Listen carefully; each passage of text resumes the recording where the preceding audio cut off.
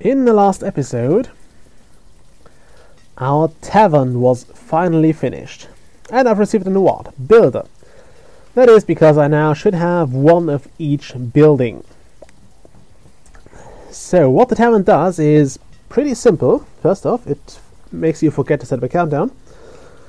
Uh, the tavern works with only one person. Yeah, it only needs one. It, it can't be increased. Uh, you can have like a lot of alcohol. And what you do is you first assign somebody. And uh, what you do first, or what you should do first, is actually look what you have in stores.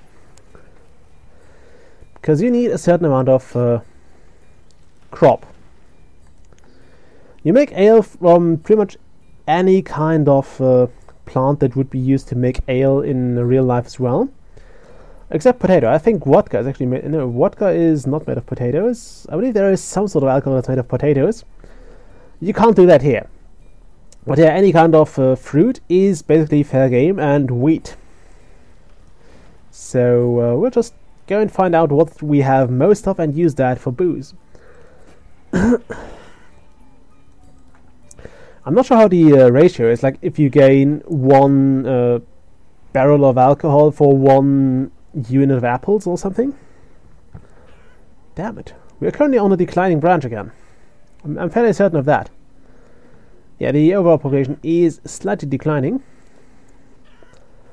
I'm not happy with that. But it doesn't seem to have an impact on the happiness. So that's pretty nice. However, yeah, once we get more resources, we'll definitely uh, get some more um, get some houses going. Damn it! Why do all the people keep dying?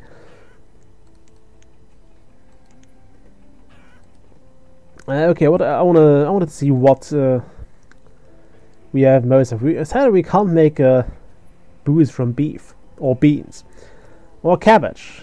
Would you drink distilled cabbage? Okay, so apples would be, uh, berries would be a reasonable pick. Corn you can't make booze of. I believe you, you, can actually in real life. Would you distill onions for their taste and the booze? I don't know. We have plenty of wheat, and I believe it's actually a reasonable choice. We could make another dedicated wheat field, although that would probably be a stupid move, considering we are currently uh, stripping down the farms. But yeah, I believe we can. We'll just make booze from wheat. So we'll unassign one more of you, make one uh, brewer, and tell him to make ale from wheat. But I believe it's one for one. so yeah, we should have plenty of, of alcohol out of this. And if it's one for one, this won't uh, really relax our storage situation in the slightest, because you would still have one barrel of, of of alcohol. So uh, we just have to store something else, but that would be essentially it. Uh, note that booze is also a very, very efficient uh, trading thing. So you can use it pretty good for, well, trading away. Though I'm not sure this one tavern will actually sort us, because we have quite a large population with um, probably a fair amount of thirst. So uh, I'm not sure we'll actually get anything out of this, or if it will just all be uh, quaffed down immediately.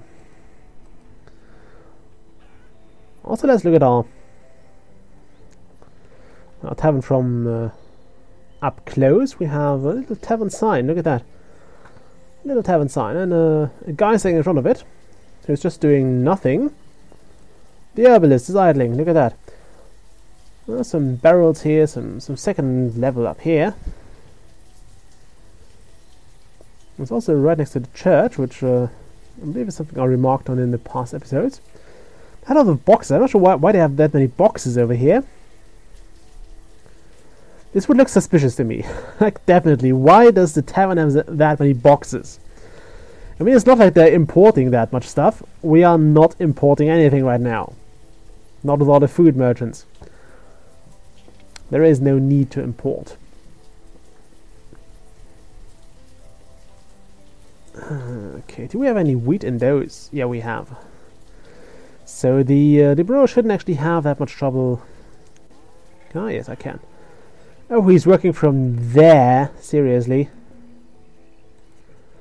Okay, but yeah, he, he's carrying some wheat, and that's uh, actually one thing I I kind of didn't like about the game is that you, you can't see everybody working.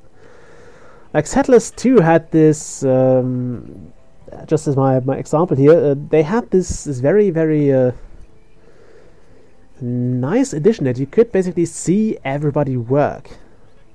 Like whenever they were in the building, you could see them work. You, you could see, okay, this guy is currently having resources. You, you could see everything at a glance. You didn't have to click the building you could see okay there is something in front lying in front of it and it's like they, they need two resources they only have one there.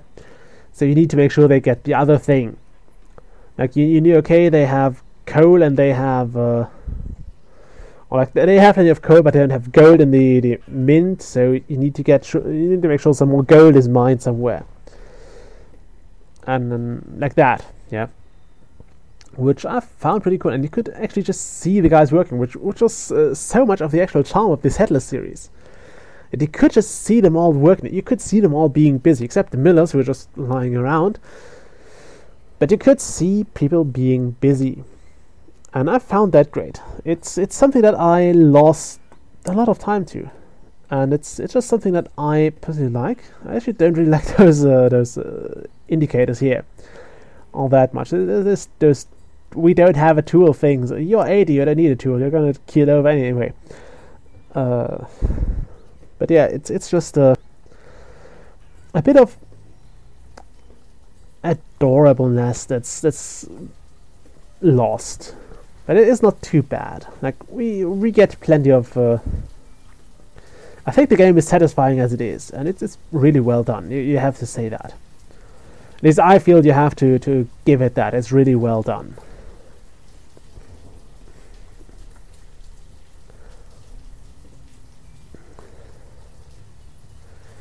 Yeah, we're down to 20 students again, so uh, we had 24 last video. Also, sorry about the noise outside. Not sure why they're doing it. Okay. Wow, they're, they're actually storing quite a lot. We have 140 wheat. I'm not sure how much ale they are making out of this. I'm not just sticking around to see... Is the, the brewer still in here? No, he's not. He's picking up resources. He's going quite away for his wheat. I know he, he's probably not picking up wheat anyway. He's. I believe this, this could actually be one of those things that basically do themselves. Like uh, the the actual brewer doesn't have to be there to uh, get the boost. He just needs to be putting in the resources every now and then, and that's it. I mean, it's kind of how brewing works. You really don't do that much when you brew things. I, I, I never did it, but I had plenty of um,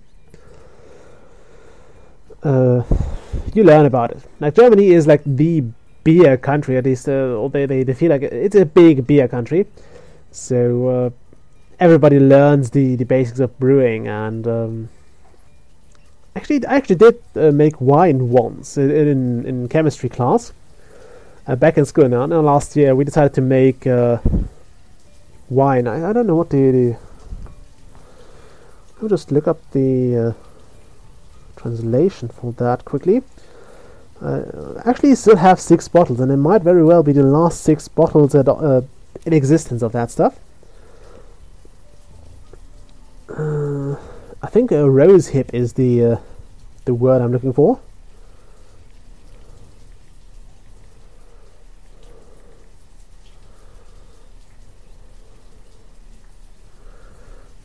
Uh, dictionary. Yeah, rose hip.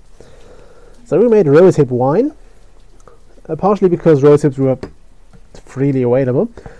Uh, I never drank it, so I don't know how it tastes. I don't know if it's still good, but I still have six bottles. We we got out like uh, I believe twenty or so bottles. Oh no, we actually got more. I think we got around twenty-five bottles, and we gave some of them away to the teachers. So uh, we ended up with 16 bottles, which were distributed among the two remaining uh, pupils and uh, thus, yeah, I ended up with eight bottles. Or was it six? I think we might have twelve. I don't know. I have to go count, but I, believe I have eight bottles. and uh, I still have those. I'm not sure what to do with them because I still don't drink, and uh, after what happened to my brother, I, am not going to touch that stuff at all. It's it's one of my big uh, principles that I've I've stuck with all my life. I don't touch alcohol. I mean, I did touch it in the lab, but uh, you know what I mean. I, I won't drink it.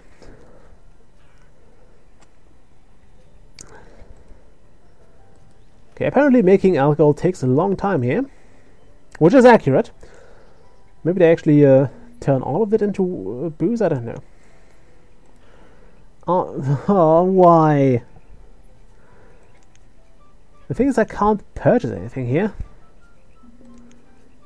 So... Dismiss. And never come back.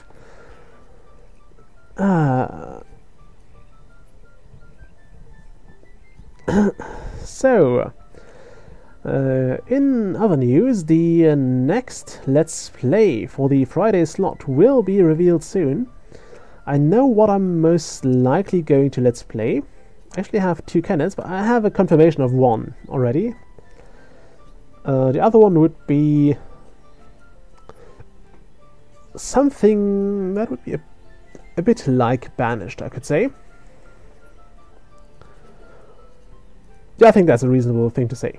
It's a bit like Banished, but uh, actually has a bit more. It has a bit more action, slightly, slightly more action going for it. Uh, also a bit more managing, and I actually have to get back into playing it. But I, I, I did a fairly decent job at it once. What is it stocking now? Okay, now it's, it's back. I think it was just auto-saving who knows? I, I hope it's recording. I, will be really mad if all of this didn't record and I have to do it again. I know we are low in tools, my friends. But we're getting there. Like, this has been 120 something last time, and we're getting it down to, to 94 now. Although I believe some of that actually is because the uh, people who don't have tools just die out. No, they didn't. They take their tools to the graves, which is kind of weird. You'd think if this is a Christian uh, church, they don't take anything with them to the graves, but we still don't seem to get the tools back. They can take the clothes back to the grave. Uh, we don't care about those, but we want those tools back. Uh, okay, it's still 140. And the brewer's inside, so he's working. It's this thing, actually. Ah, okay, I can view the upgrades, can you view the oh, where are you living? You're living quite a way away from that. And to be honest, this tavern looks like it could certainly house the uh, the brewer as well. Like this little bit up here, this, this looks like it could be just a, a small room for the brewer. And we don't have any guests that that stay, so you don't really need to keep that much space up here. Who knows? Maybe he wants it to.